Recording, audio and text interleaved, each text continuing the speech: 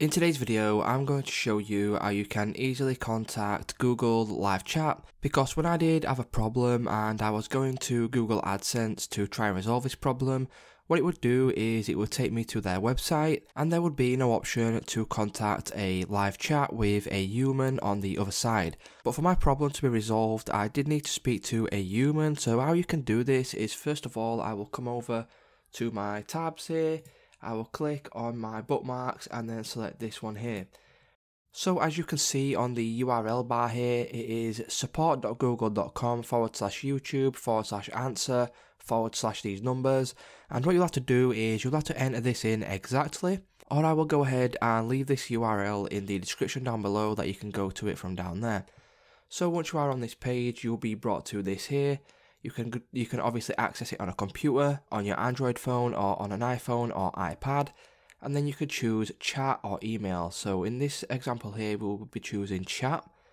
Click on the drop down menu and you will have access to a lot of different um, languages here. So you have Arabic, English, German, etc. And it will also tell you the times of day that they do operate within that language. So for me, I will click on chat in English, so 24 hours a day, 7 days a week.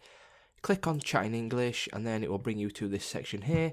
All you simply need to do then is go to your YouTube channel, go over to your channel and then you will need to copy your channel URL which will be this here. So Command and C for me on Mac and then you all you need to do is click on Command V and paste it within this here.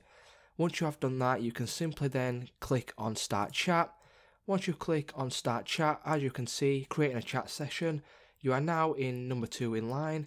So as you can see, the chat will then start.